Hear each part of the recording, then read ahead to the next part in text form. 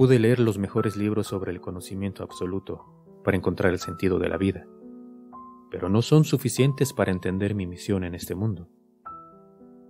Quise buscar la felicidad y la paz en los lugares equivocados, sin darme cuenta que se encontraban en el corazón del hombre, hasta que descubrí a quien tiene palabras de vida eterna, el cual susurró a mi corazón diciendo, Ahora comprenderás el amor que siento por ti con el regalo que a tu vida mandé.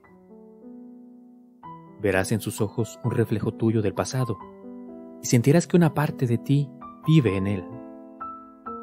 De alegría una lágrima tuya saldrá al escuchar su sonrisa y sentirás que volviste a nacer cuando lo veas crecer.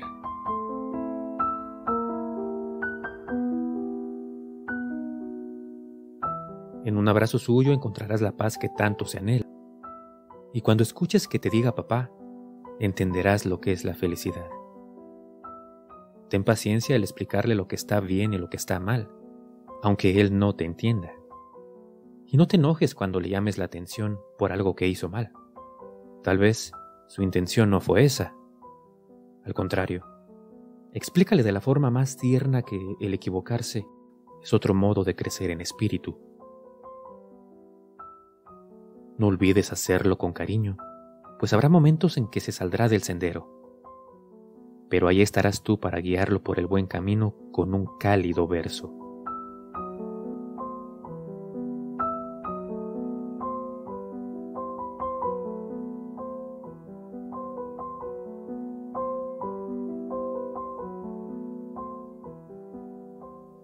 También tendrá instantes en los que sufrirá y llorará pero tu misión será cuidarlo, con amor, pues un hijo mío te he mandado.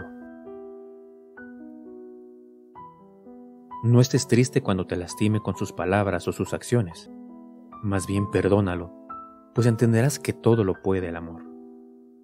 Sentirás que son aparte de ti, y tú solo pensarás en darle lo mejor de ti para que sea feliz. De ser necesario intentarás dar tu vida a cambio, tan solo por verlo vivir pues el amor de un padre a su hijo es tan inmenso como el universo.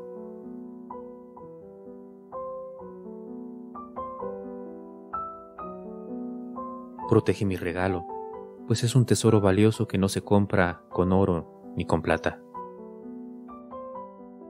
Es un tesoro que no encontrarás en lo profundo del océano, ni en la cima de la montaña más alta.